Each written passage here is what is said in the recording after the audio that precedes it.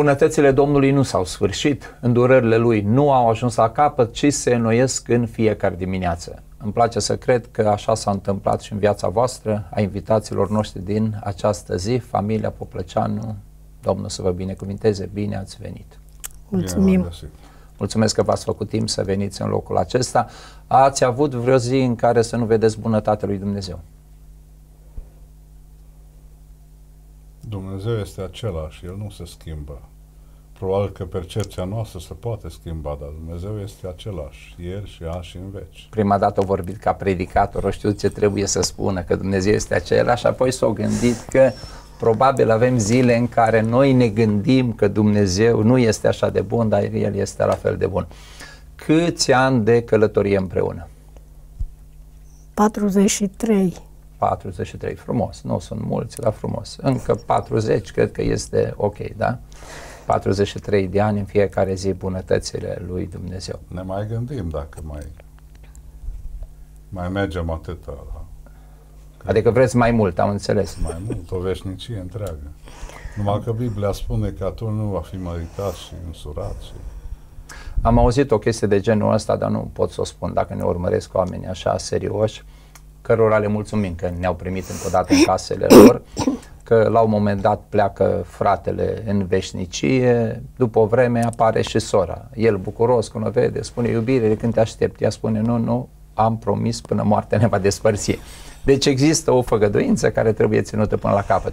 Cum a fost la început? Sunt curios cine pe cine a convins să se căsătorească. Lenuța, vreau să aud varianta ta. Cred că mi-a convins Dumnezeu pe amândoi. Așa îmi place să cred, uitându-mă în urmă. Dar la momentul acela, nu știu cine a dorit mai mult. Poate eu am dorit mai mult. Ai dorit să te căsătorești, dar ce ți-a plăcut la bine?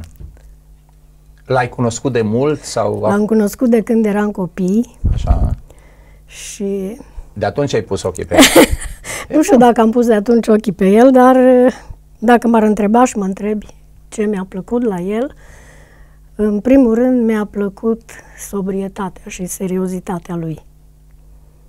Și pe urmă toate celelalte. Om serios a rămas toată viața. Sper. Dar uh, atunci știai că are de gând să intre în slujire full-time? Da. Da?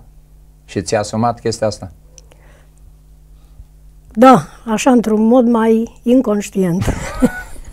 Dar cu ajutorul lui Dumnezeu. Da, acum e bine că dacă le-am știut toate de la început. da. Uh, dar nu știu, o fată, o fată în generația ta, că probabil generațiile se schimbă, dar o fată în generația ta, ce vedea interesant la un predicator, la un slujitor, la un om din față?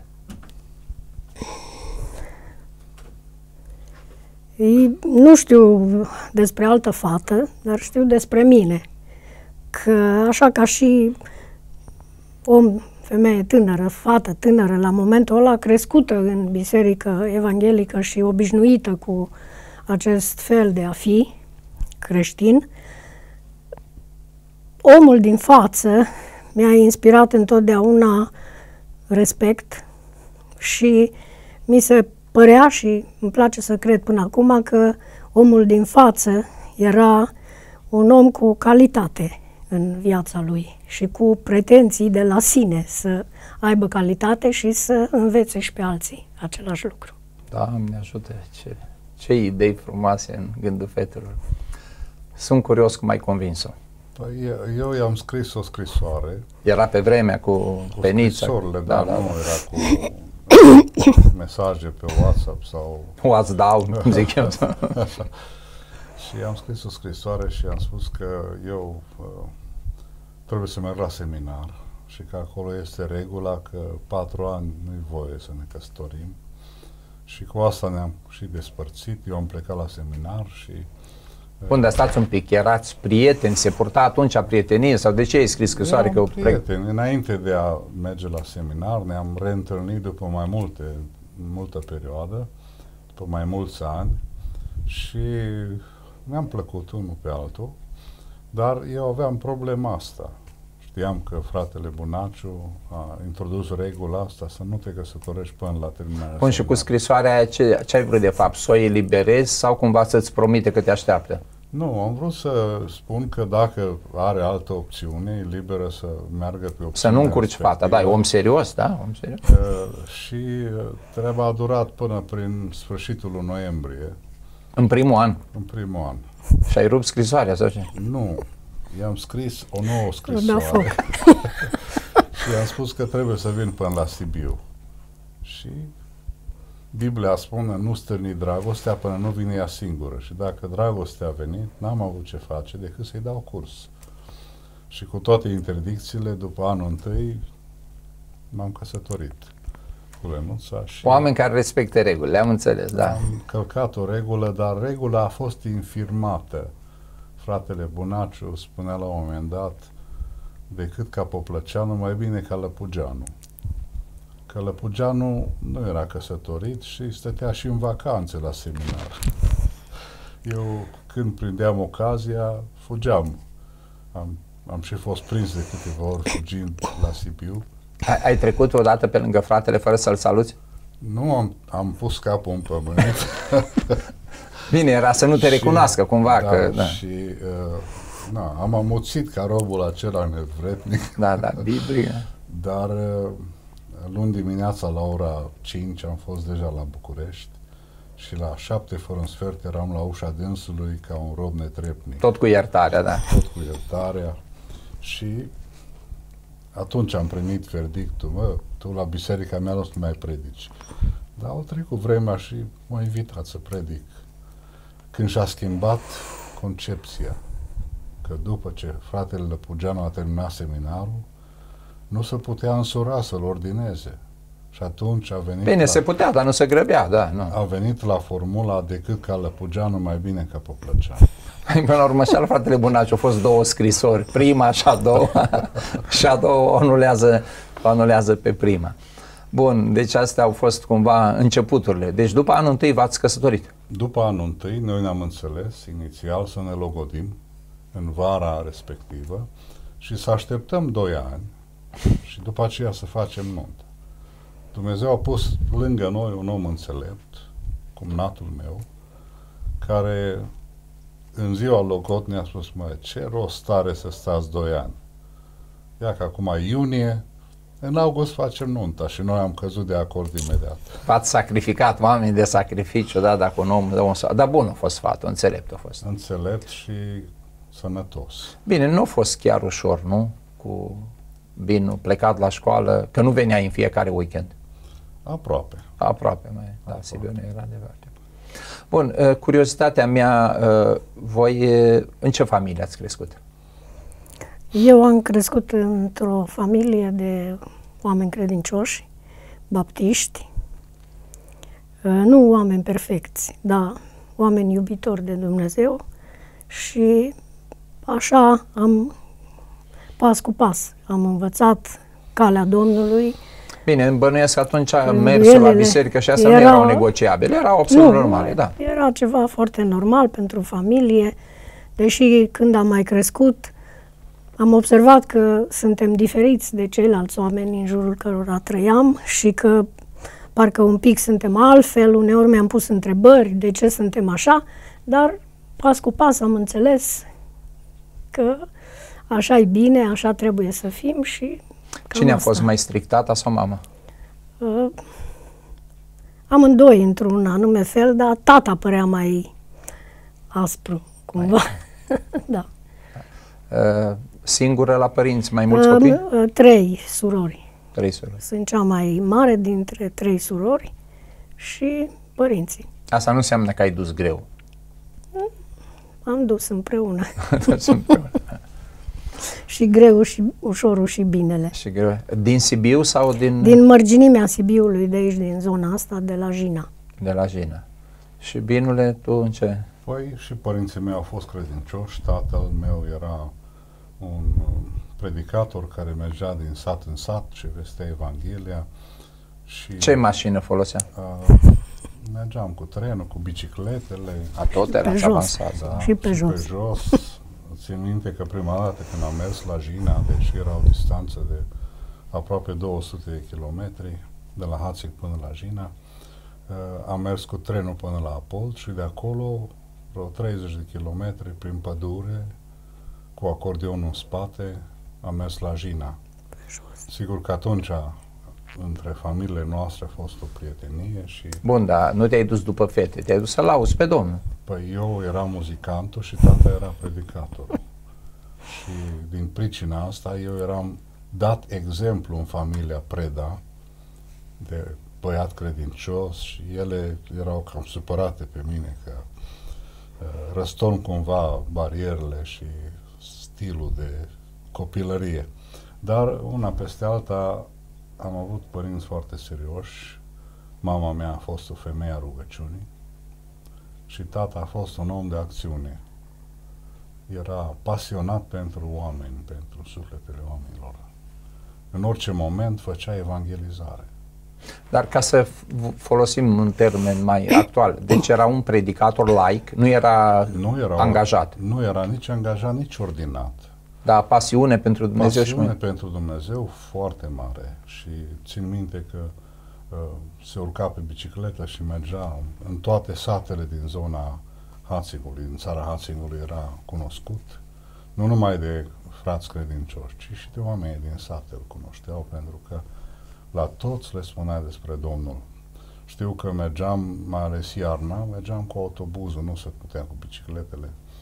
Și el niciodată nu stătea pe, pe bancă lângă mine în autobuz. Mă așeza la un loc sigur și apoi s-a așeza lângă altcineva.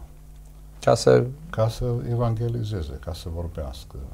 Obișnuia să aibă o broșură sau Inima omului sau alte broșurele. Aia cu poze, cu satana, cu, poze, cu da, furca, cu... O țin minte și le eu. dădea la oameni să citească și apoi de acolo începea discuția cât dura călătoria, o jumătate de oră sau 20 de minute, Evanghelia simplă și curată.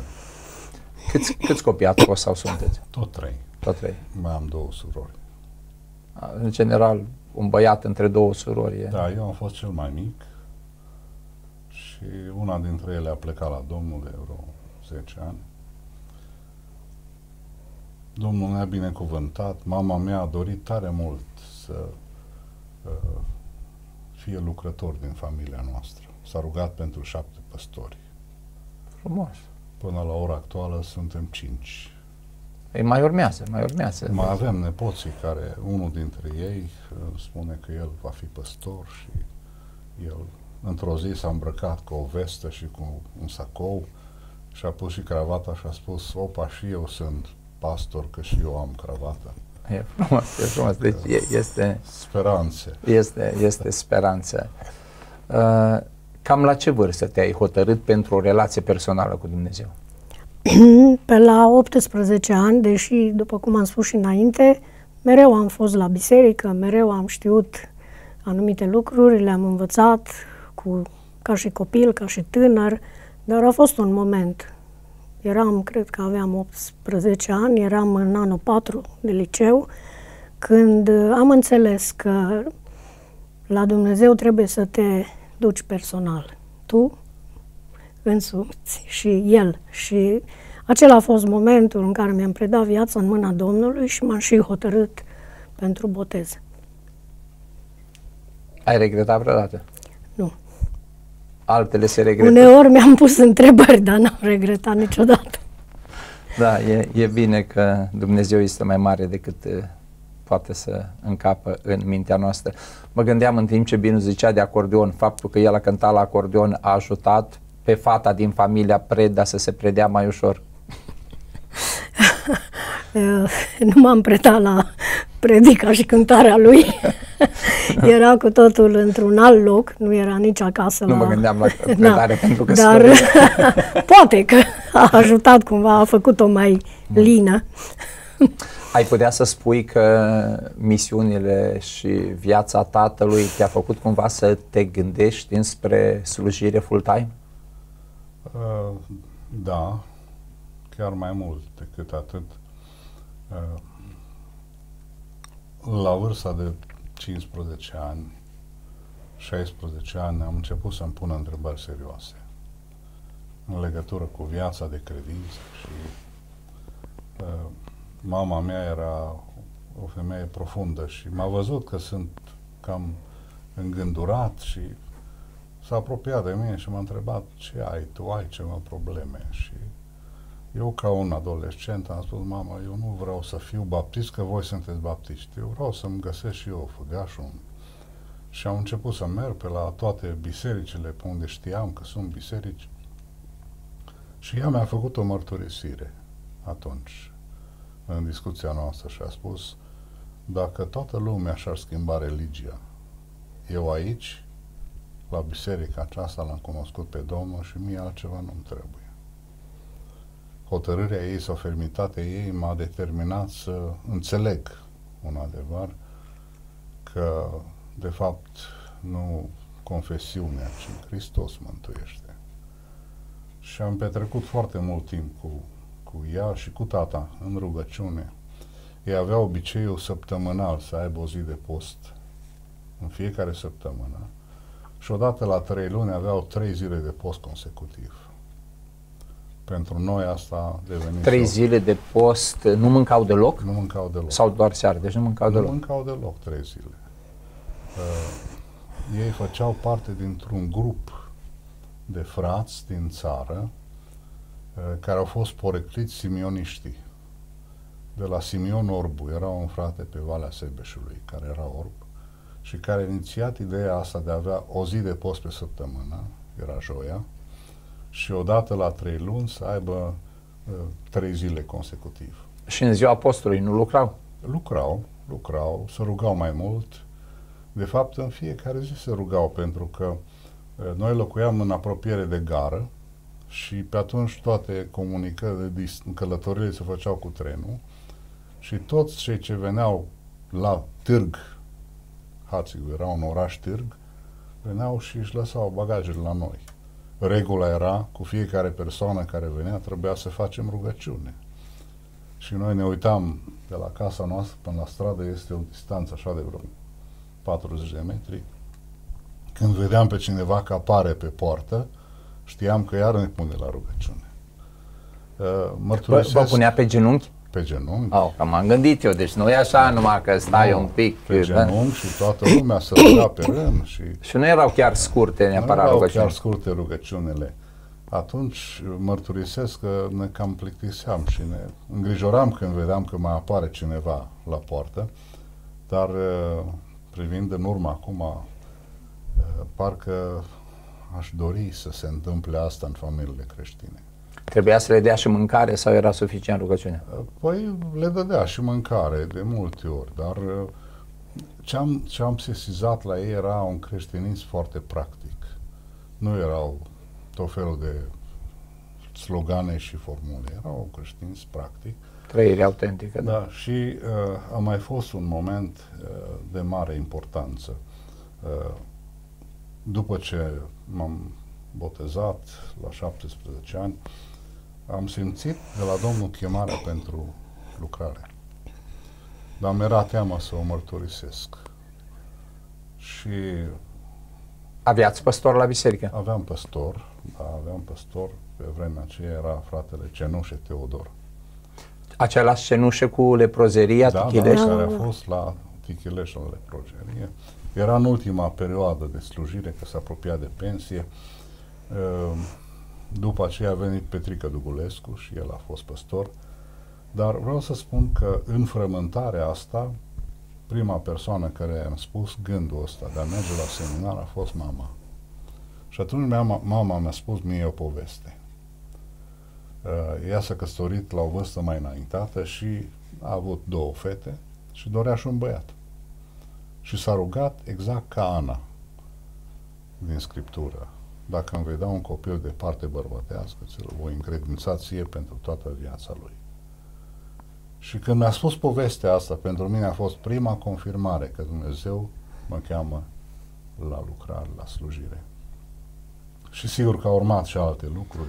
Da, încerc să le spun... Persoane care au avut influență în viața mea și care m-au ajutat să-mi așez, să se cristalizeze gândul acesta. Chemarea interioară să fie confirmată și de alții. De alții. De multe ori le spun părinților, poate nu de suficiente ori, să spună copiilor anumite istorii ce țin de ei. Sunt părinți care le ascund din ei, multă vreme nu le spun. E foarte important copiii să spună și foarte important când cineva vede un tânăr în care Dumnezeu a pus ceva, să-l încurajeze în direcția aceasta. Niciodată nu știi cât de mult poate veni o încurajare din afară să confirme ceva din interior.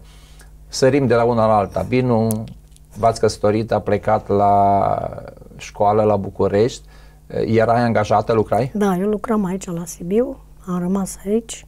Și nu și... au fost probleme dacă s-a dus bărbatul la teologie? Păi, nu, n-au fost în mod special, dar pe vremea aceea mi-aduc aminte că imediat ce m-am angajat, deși n-am vorbit cu nimeni despre asta, câteva zile au trecut și șeful unde eram angajată m-a invitat la el în birou să mă întrebe ce sunt, cum sunt, despre ce este vorba. Și i-am explicat, nu a prea înțeles mult, nu știu nici eu cât am știut să explic atunci, dar uh, am observat că a început să aibă un respect deosebit. Și când a auzit că sunt căsătorită cu un om care face școală teologică, m-a respectat cu atât mai mult și pe el, la fel. Și mereu mai întreba câte ceva despre el, ce face acolo, ce învață, care e diferența între unii și alții. Și a fost bine. A fost bine, da. Ce a fost mai frumos în cei patru ani de seminar, în afară de căsătorie? Păi, uh, multe experiențe frumoase au fost. Eu veneam la Sibiu, veneam acasă, eram primit totdeauna cu bucurie și de la săptămână la săptămână, regula era cam la două săptămâni puteam veni acasă, dar mai aranjam câte o chemare din partea bisericilor din zonă să pot să vin și peste programul ăsta și atunci se introdusese sistemul nou de școlarizare, sâmbătă liberă și din când în când să putem pleca acasă și a fost, a fost frumos. Sigur că în perioada vacanțelor eram repartizați să facem practică la biserici și uneori duminica mergeam împreună. Lucrurile au fost frumoase. Perioada a fost, zic eu, destul de lungă, trei ani. A trebuit să stau despărțit oarecum de, de Lenuța, dar am fost totdeauna uniți în Duhul și ea a înțeles pentru mine, poate cel mai critic, uh, cel mai critic moment a fost atunci când noi am anunțat părinții uh, în ziua logotnei, i-am anunțat de schimbarea noastră și am zis că ne căsătorim două luni. Și întrebarea cea mai critică care a fost pentru mine o problemă a fost întrebarea din partea tatălui Lenuței, care a spus, da, tu ești în stare să ții trei ani în seminar? Și pentru mine a fost greu să suport o astfel de întrebare, că eu credeam că eu sunt cel ce întrețin familia. Dar Domnul a purtat de grijă. A fost în stare. Da. Răspunsul este a fost în stare. și-a, și-a asumat. După ce, după ce ai terminat seminarul, ai venit direct la Sibiu, în slujirea? Da, atunci am venit la Sibiu. Aici era, uh, în locația în care ne aflăm, era Biserica Germană, sigur, în alte dimensiuni și am fost uh, repartizat, pe atunci se făcea repartizare, la Biserica Germană din Sibiu și la Pitești. Piteștiul se înființase recent și eu am fost primul lor pastor și am slujit în felul ăsta un an, după care am fost ales la Biserica Română din Sibiu, care este acum pe strada Măghireanului și după încă un an am înființat Biserica Betania. Mm-hmm în care slujesc de Deci, te-ai botezat la Jena sau la Sibiu? La Blaj. Oh, bun, la Blaj, da, nici una altă. Și apoi ai frecventat, eh, după ce v-ați căsătorit, ai frecventat biserica de aici din oraș? Da, da, de înainte să ne căsătorim, eu am venit în Sibiu în 73 și ne-am căsătorit în 77. Deja eram, făceam parte din Biserica Baptistă din Sibiu. Și care a fost, sunt curios, care a fost schimbarea între atitudinea față de fata care vine la noi la biserică și apoi soția păstorului. S-a văzut ceva? Spun eu, ea spunea poezii aproape în fiecare duminică. Frumoase. Frumoase, le recita foarte frumos. După ce ne-am căsătorit, s-a mai uh, estompat asta, că n-a vrut să zic acum soția păstorului iese în față tot timpul. Bun. A început altă Hai, slujbă. hai să te întreb un lucru. Ți se pare cinstit chestia asta? Adică, Uh, Nu știu dacă mi se pare cinstit, dar mi s-a părut potrivit. Pentru mine. nu, eu, eu înțeleg că în multe... Chestiune de bun simț. Pentru mine mi s-a Bun, părut da potrivit. și nu, eu spun acum, și eu gândeam tot așa, că soția păstorului să nu facă asta, să nu facă asta, că vezi, Doamne, acum aș putea fi și un pic mai critic și mai biblic și să spun așa, de ce căsătoria ei trebuie să o priveze de un dar pe care Dumnezeu i l-a dat să slujească, numai ca să fie mulțumit nu știu cine? Așa cum a spune poezii, când mergem prin alte biserici, ea spune poezii recite frumos, dar la biserica locală mai puțin. Că Am înțeles, da, dar nu, acum asta, sigur că ar trebui să fie un echilibru, dar nici aici nu mi se pare normal. De ce să se bucure o biserică de darul ei nu știu unde și exact biserica unde este nu se bucură că vezi, Doamne, acum să nu zică lumea că nu știu ce. Am avut și noi multe figuri în cap care nu știu dacă neapărat au fost bune. Acum, percepția, după părerea mea, așa, în experiența pe care o avem, oamenii pe care îi slujești au foarte mari pretenții și așteptări de la cei care sunt în fața lor De la și soția păstorului. mai ales de la soția păstorului. Așa că, și soție și de, de păstor, la copiii păstori. uh, am avut parte și de multe frustrări. Trebuie De- să recunosc. Eu cred că, Domnul să mă ierte, eu cred că asta, uh, cel puțin în generația noastră, ni se trage de la Elena Ceaușescu. Că eu ce am constatat așa, nu m-am băgat niciodată în politică, dacă nu puteau zice ceva de rău despre să nu aveau curajul, dădeau pe ea.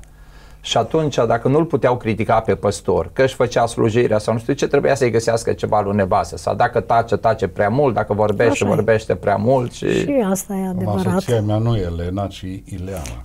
Da, da, da, nu, dar la toți li se, li se trăgea, știi? Acum nu știu dacă se trage neapărat de acolo, Da, dar eu cred că la uh, mentalitatea românească li se poate, trecea și de acolo. poate că un pic. Deci, Deci mie ai zis de frustrări, mi sunt curios un s-a pic. părut întotdeauna că așteptările pe care le au oamenii credincioși unei biserici, de la păstor, de la familia lui, de la soția lui, sunt uh, ușor exagerate, mi s-a părut.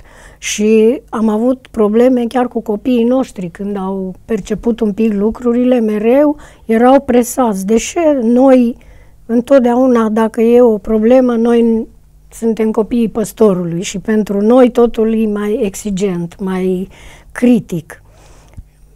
Am încercat să le explic și le-am explicat mereu că nu suntem nici noi decât oameni.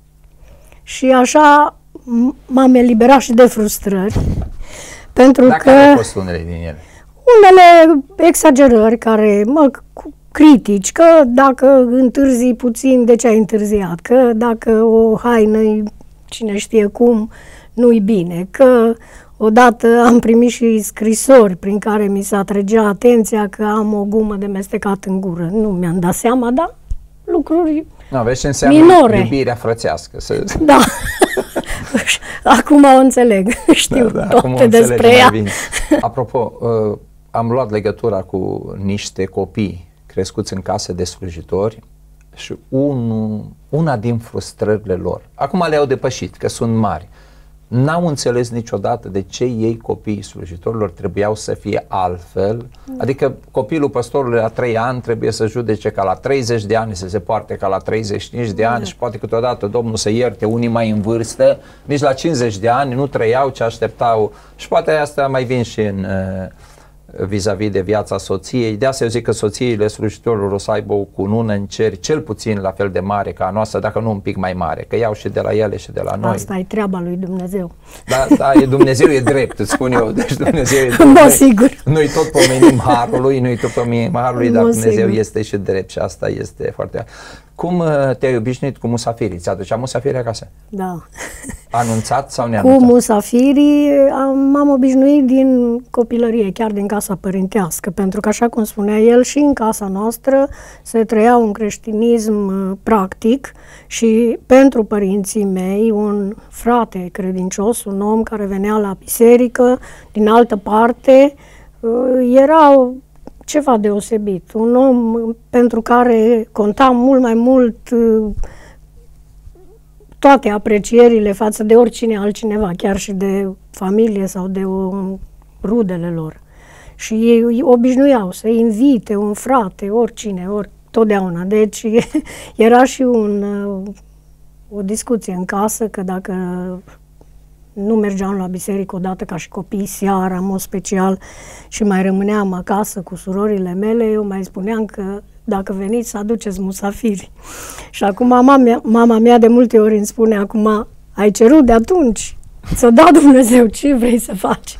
Da, este, da. este bine. Uh, Mâncați împreună cu musafirii sau copiii separat după ce mâncau musafirii? La început, la începuturi, da, nici n-am avut condiții foarte bune. O vreme am locuit aici la biserică și musafirii mâncau într-o altă cameră cu o masă aranjată. Dar după un timp ne-am obișnuit să mâncăm împreună. Și copiii noștri, și musafirii, și chiar și eu stăteam la masă cu ei. Mare lucru, asta e. Păi da. am introdus regula asta, dacă nu stăia la masă, nu putem să începem să ne rugăm, să mâncăm, pentru că eu cred că musafirii trebuie să se simtă acceptați, nu serviți. Să fie parte din familie.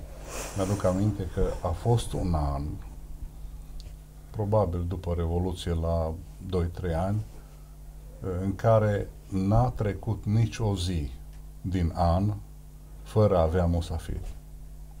În fiecare zi. A fost un an de excepție. Acum nu mai avem așa mulți musafiri. Acum avem copii, nepoți.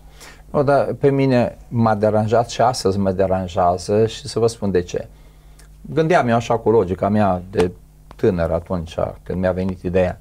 Te duci în casa omului, ca regulă, soția pregătește mâncarea, te servește, bărbatul stă cu tine la masă. La final, nu vine nici să-i dai mulțumirile că spală vase sau nu știu ce. Mulțumirile îi dai tot lui fratele. Știi, frate, mulțumim, a fost foarte bine la care fratele. O, cum? Veniți și data viitoare. Și zic, păi el săracul nu a făcut aproape nimic, el are și bucuria de a sta la masă și asta. Și eu am încercat uh, și în casa la noi, regula, stăm toți la masă, cu musafiri, cu celelalte. Mi-a ieșit, nu mi-a ieșit, depinde de situație.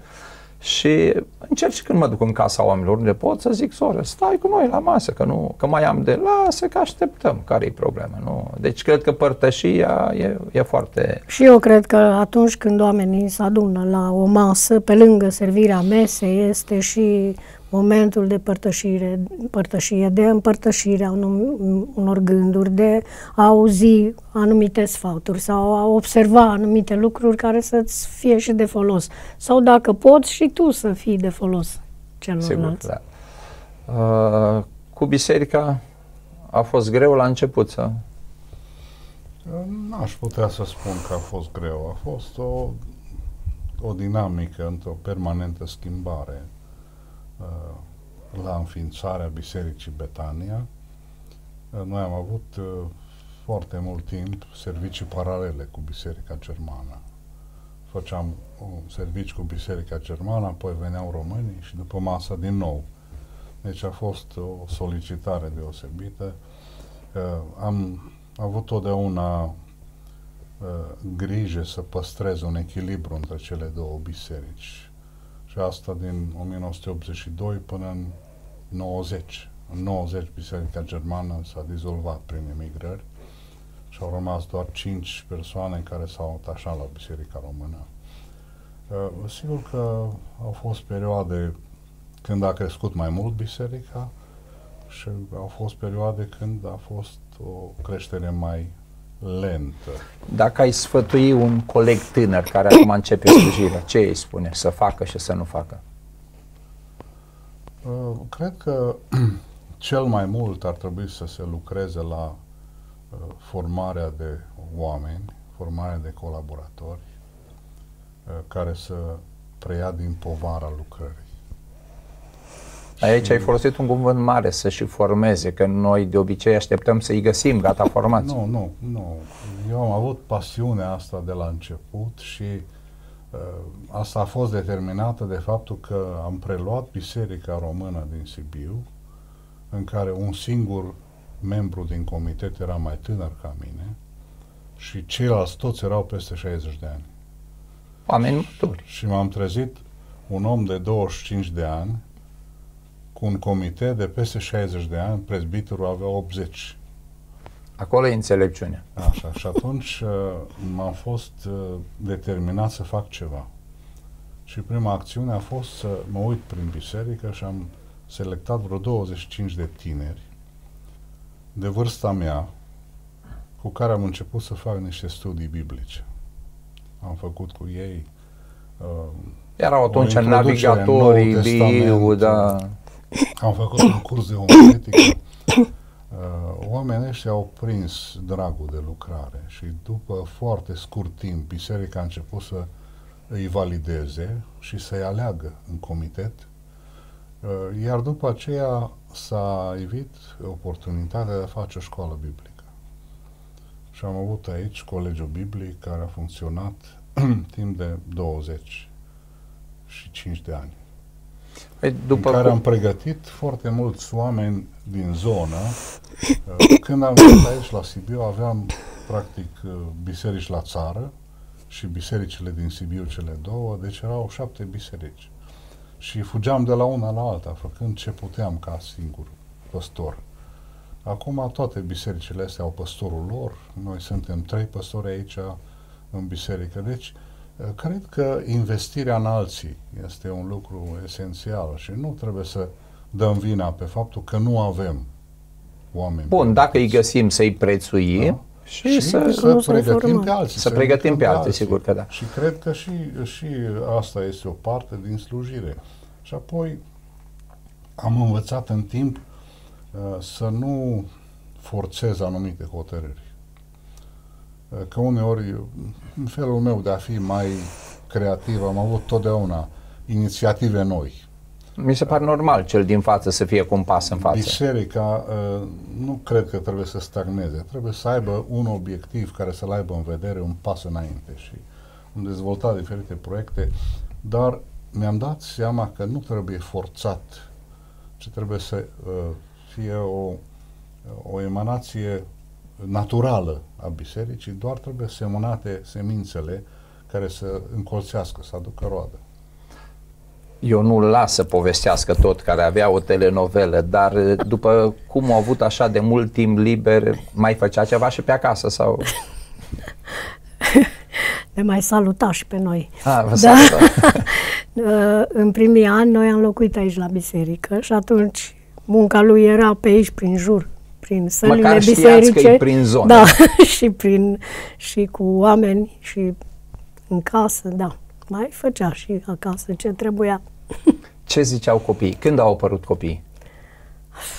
Primul copil l-am avut când era el la seminar și a fost și o experiență mai grea pentru noi, care copil care ne-au murit la naștere. Și pe urmă am avut-o imediat pe Debora, când a început el slujirea pastorală, ea avea vreo 2 ani, cred, și pe urmă Timotei. Pe Timotei aici la biserică l-am adus de la maternitate și am locuit aici 14 ani. Care a fost perioada cea mai grea cu copiii? Cred că cea mai grea a fost când au fost foarte mici, pentru că și eram aici într-un loc unde era mereu aglomerație și Un dute vino... un dute vino, mereu Era tot cineva... un fel de gară de la... da, să muta gara. Ceva mai complex, că aveam atunci aici o grămadă de activități. Aveam liceul creștin s-a înființat și a funcționat aici. Aici era uh, colegiul biblic, o școală biblică. Aici era Asociația Învățătorilor de Școală Duminicală, care avea sediu pe țară aici. Aici era și un cabinet stomatologic, Și radio. radio. Și bănuiesc că voce toată Evanghelie, lumea care nu găsea pe farmacie, altcineva, așa. urca Da. până... da, urca, întreba, da. Atunci mi s-a părut greu și acum uitându-mă în urmă, parcă îmi pare rău că n-am avut așa de mult timp cu ei. De multe ori trebuia să îi Păi Fac acum- să înțeleagă că trebuie să se joace undeva într-un colț și eu am altceva de făcut, dar și ei s-au obișnuit așa. Mm. Na, pe urmă, cred că a mai fost o perioadă mai grea când uh, erau adolescenți, dar nu atât de mult cu fata, cât cu băiatul. Da, nu chiar. Aș spune că nu foarte greu și el a depășit cu ajutorul Domnului perioada asta și și-a găsit făgașul. Am, uh, am, eu am multe curiozități, dar n-am vreme să întreb. Dar știu că la un moment dat parcă ați mai ajutat un copil, o fată, așa Da, la un moment dat când uh, Deborah era prin clasa nouă, am adus o fată din Republica Moldova, de la o familie a unui păstor de acolo, o familie cu mai mulți copii, cu gând să o ajutăm să facă liceu. Și am uh, adus-o la Sibiu să o înscriem la liceu Da, acesta de aici, da. teologic, baptist, creștin și în felul ăsta Până la urmă, n-a fost atât de simplu când ne-am închipuit noi, a trebuit să ne asumăm mai multe acte și documente cu ea, dar cu ajutorul Domnului a terminat liceul, a făcut și facultate și a stat cu noi 8 ani. Oh, frumos. și de la noi din casă s-a căsătorit, da. Și e aici în Sibiu, cu familie frumoasă și bine realizată și ce mă bucur mai mult că a rămas așa legată de noi, parcă ar fi fica noastră și foarte apropiată de copiii noștri. Deși Deborah a fost plecată 15 ani în America, niciodată nu s-a rupt legătura cu ea și acum, întorcându-se, din nou sunt mereu împreună și Timotei a și lucrat o vreme cu soțul ei. E frumos. Bine. 8 ani au fost cumva ca frații, da, da. da. da, da. Deși Dar- prima dată când am adus-o, mă întreabă Timotei, era copil prin clasa șasea, mamă, cât stă la noi? Și am zis, patru ani. Patru ani? Cred că era mai ușor pentru el dacă îi aduceai un băiat, să ai Da, da, cine poate. juca fotbal, ceva. Poate. El avea deja o soră, îl mai încurcă una. Păi nu, problema era că ele discutau problemele Și el era lor foarte și el curios. Era curios Că vorbesc de și el. se simțea exclus din uh, context. Da. Noi am înțeles asta în timp ce am făcut o vizită acolo și la familia respectivă, la biserica respectivă și fata asta era de vreo 13 ani și tot timpul cât am stat acolo, ea era în mână cu, era în brațe cu o surioară de ei mai mică, Penultima. penultima. Și ne-am pus problema ce viitor are fata asta în, în Pasarabia. Și interesant că în timp ce ne întorceam spre casă, pe la Unești, pe la Oitus pe acolo, în același moment Dumnezeu mi-a descoperit mie și ei că noi am putea să ajutăm fata asta. Și atunci am hotărât să o luăm la noi, să crească aici. Și efectul a fost multiplicat pentru că fratele acesta are șapte copii, acum toți au cetățenie română, o parte dintre fete sunt căsătorite prin Anglia, cu medii, cu oameni așezați Frumos. și cred că a fost o binecuvântare. Și pentru voi, chiar dacă a fost Da. și greu. Sigur că da. Dar eh, spunem eh, că a pomenit sora de fată, că a plecat în America și s-a întors din America. Când a fost, eh, care a fost mai mare, durerea când a plecat sau bucuria când s-a întors? Păi cred că au fost uh, complementare. Că durerea când a plecat a fost compensată de faptul că noi cunoșteam bine familia în care s-a dus. Uh, soțul ei, Ovi, era tot din biserica noastră plecat, erau Da. da. plecați și știam că vor merge bine. Venirea a fost uh, compensată de copii.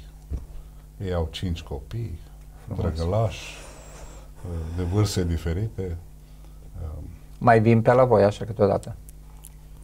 Păi sunt tot timpul Este la tot noi. timpul Da, e acolo. bun, atunci nu vă, Deci nu vă le-am plictisiți. pus da. la dispoziție casa noastră. Noi ne-am mutat în aceeași curte într-un apartament.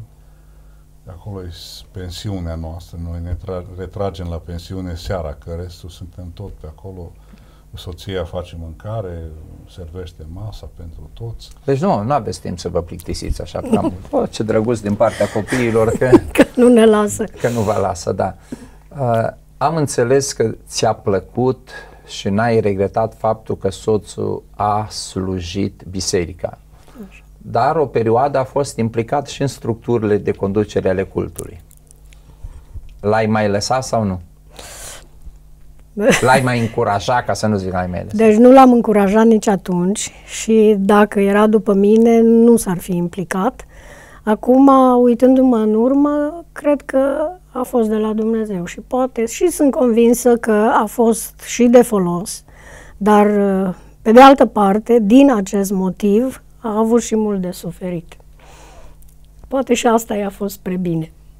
Acum toate lucrurile lucrează pe bine. Cum e? Ai recomandat cuiva să se implice? Trebuie să se deci, implice. eu cred că dacă are chemare de la Domnul și simte că poate să facă ceva util pentru, pentru frățietate, da. Da, să aștepte Dacă- răsplata de la Domnul. De răsplata de la Domnul. Fără și răsplată. Fără, fără, Fără să gând aibă la răsplată. pretenția să fie a- apreciat de oameni, că asta nu se prea întâmplă.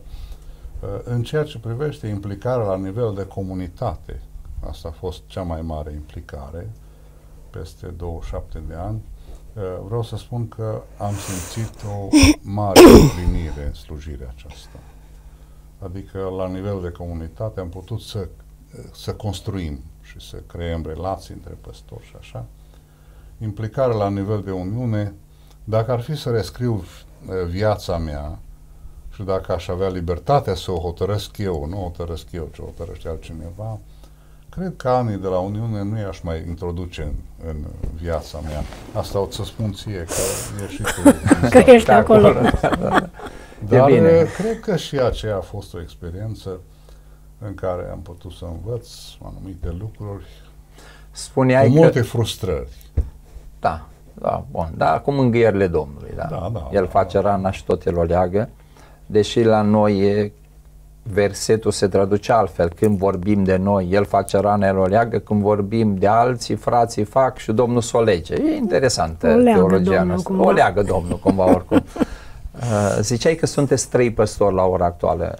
Cum reușiți să colaborați? Păi echipa s-a format în timp. Deci când am preluat uh, lucrarea în Sibiu, uh, apoi am înființat Biserica Germană în 82, eram singur. Uh, după Revoluție, imediat s-a evit posibilitatea și am, am uh, cooptat în echipă pe fratele Câmpian, pe care l-am ordinat ca păstor. Ulterior a făcut uh, și el studii teologice la fără frecvență și după câtva timp a crescut băiatul lui, fratele Ghiță, fratele Radu Câmpian, care într-un mod natural a fost atașat echipei. Mhm. Acum suntem la perioada de inversare, într-un fel. Eu pensionar, Ghiță pensionar. Acum ne gândim în ce formulă va merge Biserica Betania în continuare. Suntem la dispoziția Domnului și Da, dacă și Domnul- Domnul va vrea să facă uh, schimbări, suntem deschiși. Ce ai recomandat Lenuța unei soții de păstor la început de drum?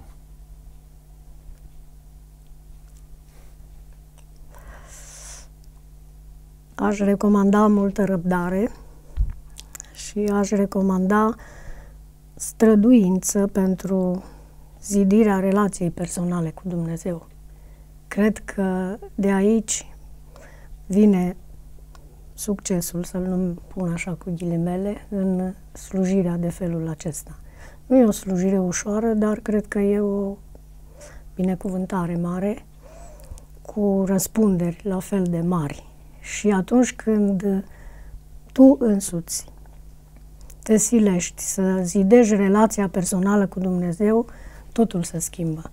Se schimbă cu tine, se schimbă percepția din jur, îi privești pe oameni diferit, nu mai ai pretenții de la ei și asta te eliberează foarte mult și te și ajută să mergi pe drumul acesta, în slujirea aceasta cu speranță și cu împăcare. De fapt, relația personală cu Dumnezeu nu este importantă doar pentru soțiile slujitorilor, nu este importantă doar pentru slujitori, deși este foarte importantă, este vitală pentru fiecare dintre exact. noi și pentru fiecare zi. Exact. E drept că bunătățile Domnului se înnoiesc în fiecare zi, dar noi știm că ele se înnoiesc și pe măsura bunătății, a caracterului, a iubirii celui care înnoiește bunătățile și pe măsura nevoilor noastre. Și îi mulțumim lui Dumnezeu că și atunci când apar greutăți, ele sunt cântărite, el știe cât putem duce și niciodată nu ne lasă singuri. Și găsește Dumnezeu metodele Lui prin care să ne învioreze, să ne dea putere, curaj, speranță pentru o nouă zi. Sperăm că și timpul acesta care l-ați petrecut împreună cu noi să fie folosit de Dumnezeu pentru binecuvântarea voastră, pentru binecuvântarea celor din jurul vostru. Obișnuiam în anumite emisiuni să vă rog dacă vă aduceți aminte, poate când se încheie emisiunea sau altă dată, să vă rugați și pentru invitații noștri, pentru familia Poplăceanu, Binu și Lenuța, Mulțumim. Domnul să-i binecuvinteze, Mulțumim. vă rugați pentru copiilor, pentru slujirea lor, pentru nepoților, dar mi-a venit o idee, până să se roage ei nu știu când, poate fac eu o rugăciune acum Slavă Domnului. și eu să zic să facem în felul următor, pentru că suntem uh, uh, toți trei aici în slujire, eu o să mă rog uh, pentru voi și voi vă rugați pentru cei care ne-au ascultat până acum. Dumnezeu știe situația fiecăruia și să le facă parte Dumnezeu uh, din bunătatea Lui în fiecare zi pe măsura nevoilor sale. Părintele nostru Ceresc, a fost un privilegiu deosebit pentru mine să stau încă o dată cu fratele Binu și cu sora. Îți mulțumesc că i-ai binecuvântat până acum, îți mulțumesc că le-ai binecuvântat tinerețea, îți mulțumesc că i-ai inspirat din familie, i-ai folosit în slujire.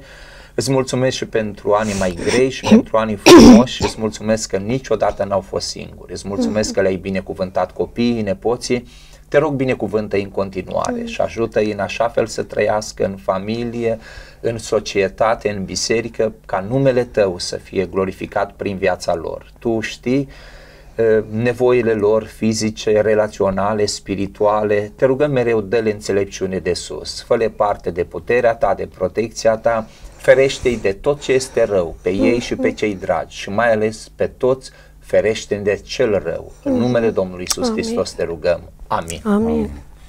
Doamne, laudăm și binecuvântăm numele Tău.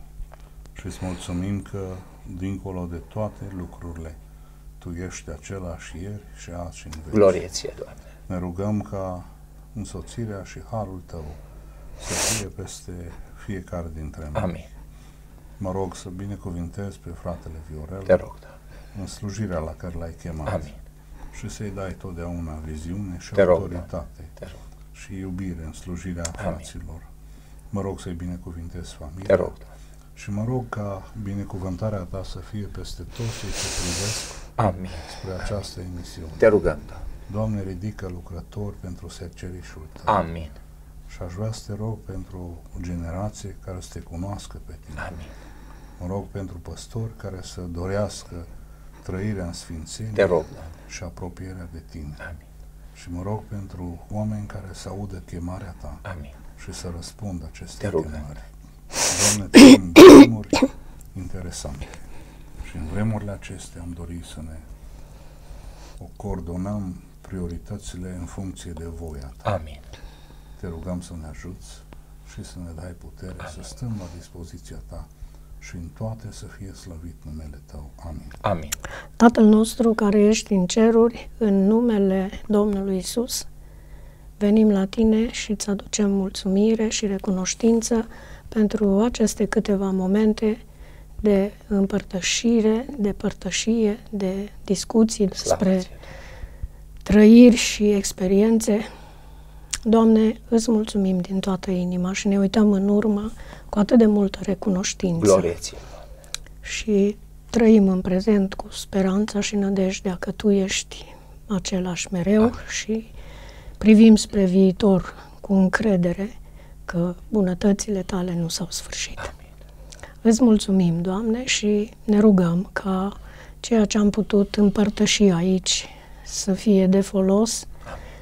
tuturor celor care vor vedea, vor auzi și mai ales să ne fie de folos și nouă, Amin. să ne determine tot mai mult la o trăire conformă cu cuvântul tău, să ne determine tot mai mult la zidirea relației personale cu tine, să ne determine la o viață care se îndreaptă spre veșnicie cu speranță și credință. Te rugăm să binecuvintezi pe fratele Viorel, slujirea dumnealui cu toate aspectele ei, te rugăm să ne însoțești și pe noi. Și pentru că avem în urmă experiența în care recunoaștem și mărturisim că Tu ai fost cu noi, ne dăjduim că vei fi și în continuare, binecuvintează și locul acesta Amin. și ajută, Doamne, ca tot ce se face aici să se facă spre cinstirea numelui Amin. Tău și noi îți aducem cinste și mulțumire, Tatăl nostru, în numele Domnului Isus și al Duhului Sfânt. Amin. Amin. Încă o dată vă mulțumesc frumos că v-ați făcut timp să participați. Mulțumesc frumos echipei care ne ajută să ajungem în casele voastre. Dumnezeu să-i binecuvinteze și pe ei. Fiți binecuvântați și lăsați-vă folosiți de Dumnezeu pentru binecuvântarea multora. Amin. Amin.